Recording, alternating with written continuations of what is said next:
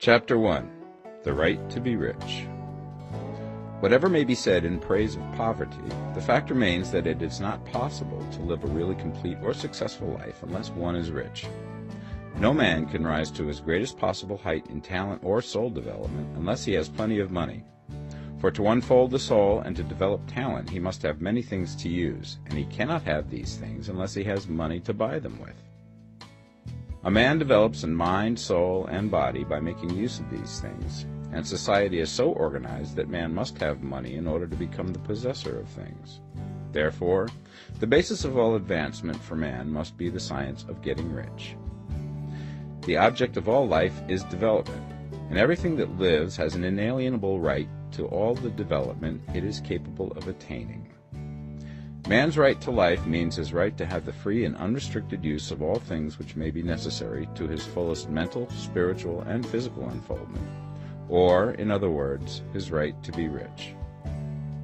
I shall not speak of riches in a figurative way. To be really rich does not mean to be satisfied or contented with a little. No man ought to be satisfied with little if he is capable of using and enjoying more.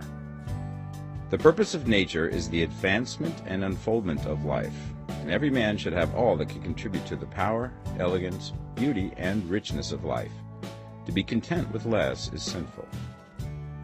The man who owns all he wants for the living of all the life he is capable of living is rich, and no man who has not plenty of money can have all he wants.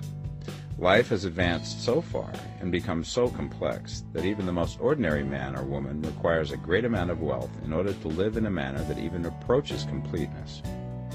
Every person naturally wants to become all that they are capable of becoming. This desire to realize innate possibilities is inherent in human nature. We cannot help wanting to be all that we can be.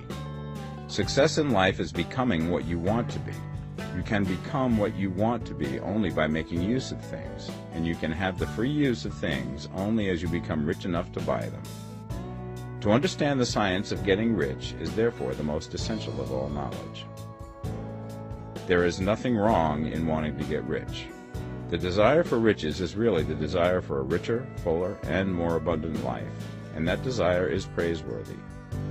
The man who does not desire to live more abundantly is abnormal, and so the man who does not desire to have money enough to buy all he wants is abnormal. There are three motives for which we live. We live for the body, we live for the mind, we live for the soul. No one of these is better or holier than the other. All are alike desirable, and no one of the three, body, mind, or soul, can live fully if either of the others is cut short of full life and expression.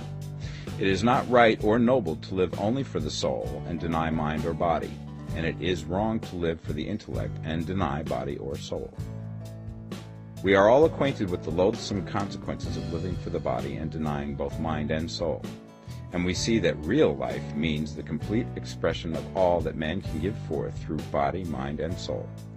Whatever he can say, no man can be really happy or satisfied unless his body is living fully in every function, and unless the same is true of his mind and his soul. Wherever there is unexpressed possibility, or function not performed, there is unsatisfied desire. Desire is possibility seeking expression, or function seeking performance.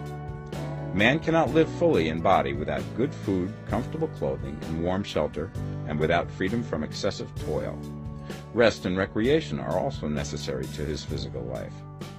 He cannot live fully in mind without books and time to study them, without opportunity for travel and observation, or without intellectual companionship.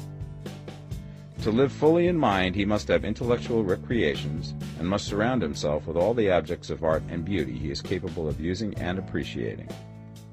To live fully in soul, man must have love, and love is denied expression by poverty. A man's highest happiness is found in the bestowal of benefits on those he loves. Love finds its most natural and spontaneous expression in giving. The man who has nothing to give cannot fill his place as a husband or father, as a citizen or as a man. It is in the use of material things that a man finds full life for his body, develops his mind, and unfolds his soul.